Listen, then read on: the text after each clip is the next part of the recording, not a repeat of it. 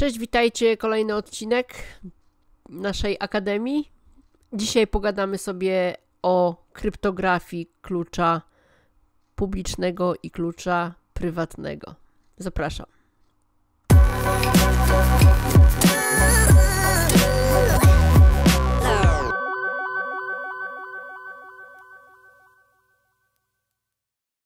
Przy kryptowalutach yy, kryptografia spełnia dwa, dwie podstawowe funkcje. Pierwsza funkcja to jest szyfrowanie.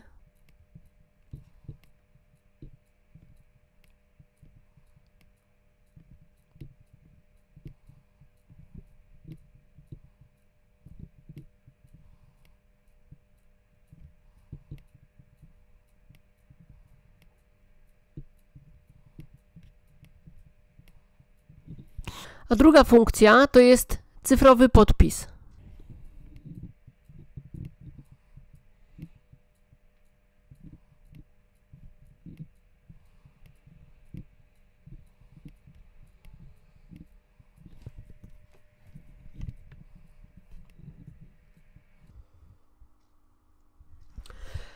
Te dwie rzeczy są konieczne do tego, żeby e, w publicznym networku, na przykład na jakimś publicznym forum, czy też takim networkiem jest sam internet, żeby można było przesyłać wiadomości na oczach innych, ale w taki sposób, żeby nikt e, nie wiedział, co zawierają te wiadomości.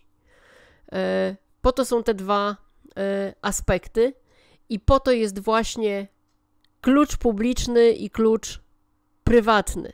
I to się odnosi do kryptografii. Natomiast kryptografia ma dużo wspólnego z kryptowalutami. Jeżeli mamy na przykład sytuację, że mamy Alice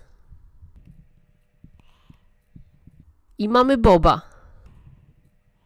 Jeżeli Alice chce wysłać do Boba jakąś wiadomość w publicznym networku, czyli na oczach wszystkich, podczas gdy tutaj jest loża szyderców,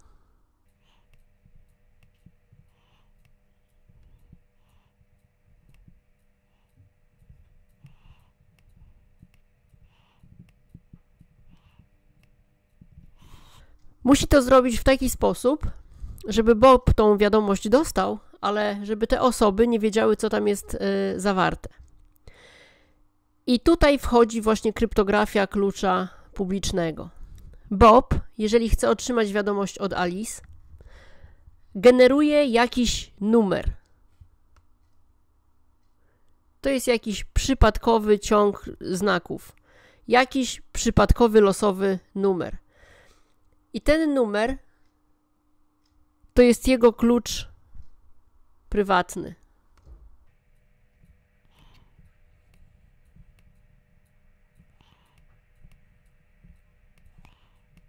To jest jego klucz prywatny. Trzyma go sobie w ukryciu i nikomu nie pokazuje. Klucz prywatny, natomiast ten ciąg cyfr generuje klucz publiczny.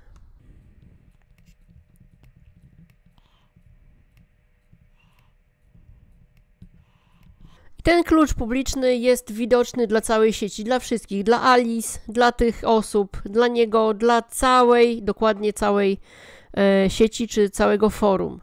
Jest on publikowany na forum.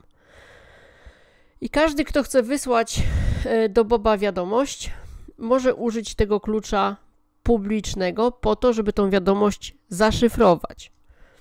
I teraz Alice, chcąc wysłać do Boba wiadomość, tu jest ta wiadomość.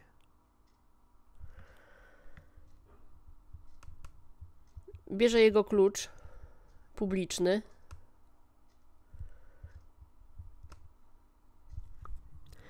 I tym kluczem tą wiadomość szyfruje. W taki sposób, że ta wiadomość wygląda w tej chwili jak y, hieroglify jakieś. Te osoby tego nie rozumieją, Nikt tego nie rozumie poza Bobem. Bob ma do tego klucz prywatny, którym może sobie otworzyć tą wiadomość i sobie ją przeczytać. Ale tylko Bob ma ten klucz prywatny. Natomiast zaszyfrowanej samej wiadomości nikt nie wie, co jest w tej e, wiadomości, mimo że każdy wie, jaki, jak, jaki klucz, jak wygląda klucz publiczny Boba, ale tylko Bob może go odczytać. Natomiast Alice, podpisując, y, Alice, szyfrując tą wiadomość, żeby ją wysłać, musi ją podpisać.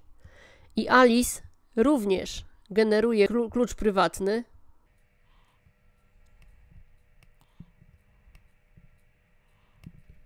po to, żeby tą wiadomość podpisać.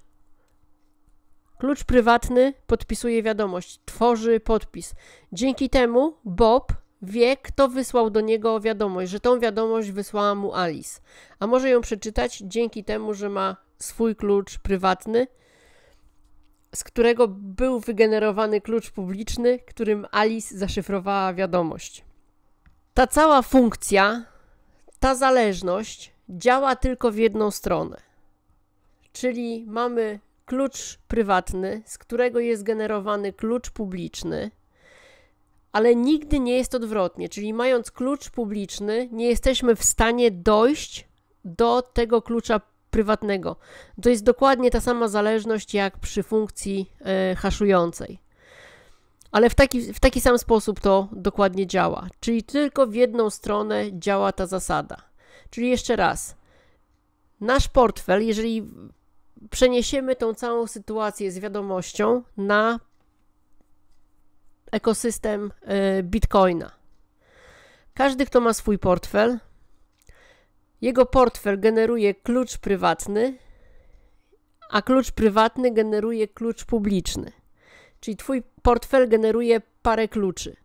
Klucz prywatny jest do podpisywania y, wiadomości i do rozszyfrowywania tego, co dostałeś, czyli transakcji, do odbierania y, swoich bitcoinów, a klucz publiczny jest do zaszyfrowania y, transakcji, do zaszyfrowania wiadomości. Czyli jeżeli ktoś chce wysłać mi jakieś bitcoiny, podpisuje je swoim kluczem prywatnym, podpisuje y, transakcję swoim kluczem prywatnym, a szyfruje ją moim kluczem publicznym, który został wygenerowany z klucza prywatnego a klucz prywatny został wygenerowany przez mój komputer, przez mój, mój portfel. I w taki sposób jest zabezpieczona sieć, która przed double spending, tak zwanym, przed podwójnym wydaniem bitcoinów, e, sieć, w której nie ma centralnej jednostki, która prowadzi rejestr, jedyną możliwością, żeby ta sieć działała, jest właśnie kryptografia klucza publicznego i klucza prywatnego. Wcześniej ta kryptografia opierała się tylko praktycznie na e, szyfrowaniu wiadomości, prawda? E, a na przykład wchodząc na maila, e, zakładając maila, mamy maila i hasło. I na przykład, jak chcemy założyć sobie swoją stronę internetową, musimy sprawdzić, czy dostępna jest domena, czy ktoś nie używa tej, tej samej nazwy domeny. W ten sposób jest to zabezpieczone. Przy Bitcoinie klucz prywatny to jest losowo wybrany numer. I można się zastanawiać, bo na przykład gdyby, gdyby mm, mój komputer wygenerował numer, który jest kluczem prywatny, prywatnym y, czyimś, na którym znajdują się jakieś tysiące bitcoinów, bitcoinów to teoretycznie mogłabym te bitcoiny przejąć, bo ja mam e, ten sam klucz prywatny, jednak w praktyce e, tutaj rachunek prawdopodobieństwa tak działa, że jest to po prostu niemożliwe. Tu jest za duży wybór, e, za dużo ilość liczb do wybrania, za dużo kombinacji i prędzej świat się skończy niż znajdziemy trafimy taką samą liczbę, e, taką samą liczbę trafią dwie osoby. osoby. Doświadczenia takie były robione z talią kart. E, przy 52 kartach